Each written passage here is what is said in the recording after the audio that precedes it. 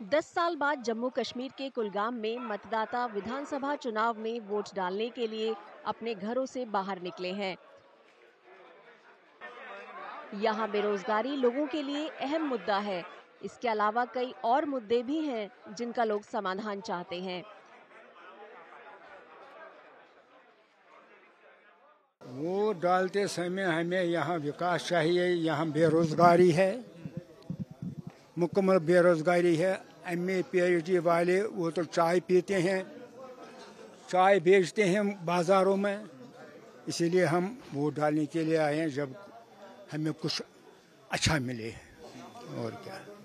दस सालों के बाद विधानसभा हाँ, विधानसभा चुनाव हो रहा है। लंबा इंतज़ार करना पड़ा। लंबा इंतज़ार करना पड़ा।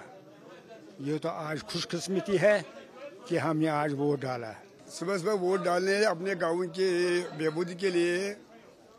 हमें बहुत प्रॉब्लम है यहाँ इसलिए अपने कैंडिडेट को हमें वोट डालने आए हैं। क्या क्या समस्याएँ हैं? बहुत समस्या है अस्पताल की प्रॉब्लम है पावर की प्रॉब्लम है पानी की प्रॉब्लम है बेरोजगारी है इसीलिए अपने कैंडिडेट को वोट डालने आए हैं। दस साल भी लग गए। दस साल भी लग गए। दस साल बारह साल लग गए। कुछ नहीं हुआ दस सालों में। आज पहले बार खाली शक्ति आ गई आज पहले बार चावल नहीं है। कोई चीज़ नहीं मिलता है। यहाँ महँगा सब महँगाई सब हो गई है।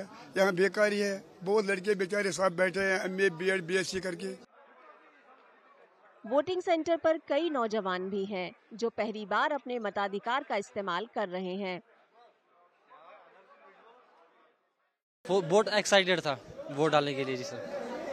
क्या चल रहा था दिमाग में? बस नर्वस था क्योंकि पहला ही वोट था तो और एक्साइटेड भी था बहुत ज़्यादा। कुछ इश्यूज़ भी हैं आपके जिसको आप हल करने के लिए अपनी सरकार चुनने आए जी सर जी सर? जी सर पिछले दस साल से यहाँ से हुकूमत नहीं थी बेरोजगारी बहुत बढ़ चुकी है इसलिए सर। क्या करते हो क्या पढ़ जी सर मैं पढ़ता हूँ। जी मैं ग्रेजुएशन करता हूँ सर। जी सर। आपको लगता है सरकार आएगी कुछ भला होगा जी सर इंशाल्लाह होगा वाला ही इसीलिए तो वोट डाला है भला होने के लिए ही। अगस्त 2019 में अनुच्छेद 370 के खत्म होने के बाद जम्मू कश्मीर में पहली बार विधानसभा चुनाव के लिए वोट डाले जा रहे हैं।